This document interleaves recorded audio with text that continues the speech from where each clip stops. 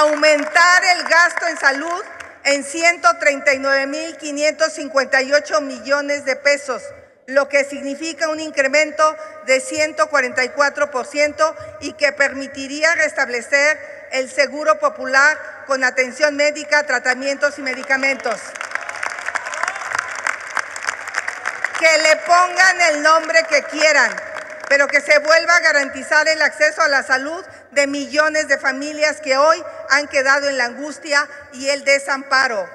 Urge invertir en mantenimiento y equipamiento de hospitales. Qué grave que el personal médico tenga que cargar a los enfermos por las escaleras porque no hay elevadores que funcionen. Del mismo modo, se busca asignar recursos adicionales para atender la salud mental, ya que el número de suicidios va en aumento y también para reducir la mortalidad materna. No es posible que se haya incrementado en un 30% en este gobierno.